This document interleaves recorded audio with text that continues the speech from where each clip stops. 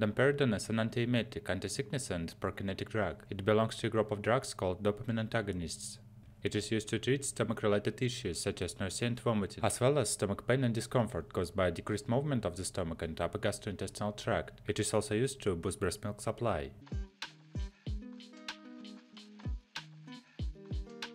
What is domperidone used for? Domperidone is used for a range of conditions, including to treat nausea, feeling sick, and vomiting, being sick, including when it is caused by migraine headaches, to prevent nausea and vomiting caused by certain medicines used to treat Parkinson's disease, including levodopa and pergolide, to relieve discomfort caused by a slow-moving stomach, known as gastroparesis. Symptoms include indigestion, dyspepsia, not being able to finish a meal, faint to follow or bloated after a meal, a loss of appetite, feeling sick and maybe vomiting, or belching without relief, to increase breast milk supply.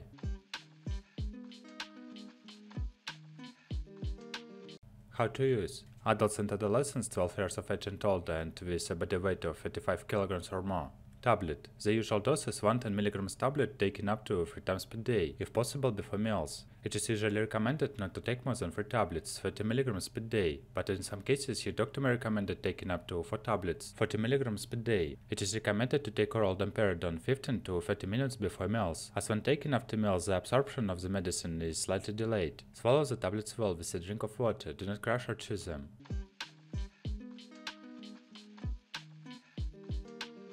Who should not take domperidone?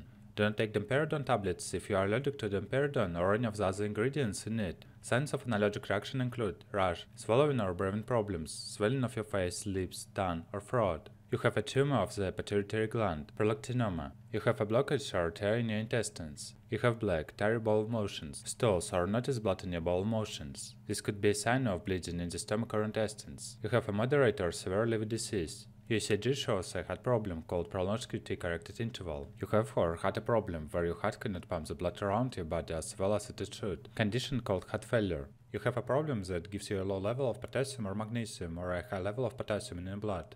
You are taking certain medicines. Do not take domperidone if any of the above applies to you. If you are not sure, talk to a doctor or pharmacist before taking this medicine.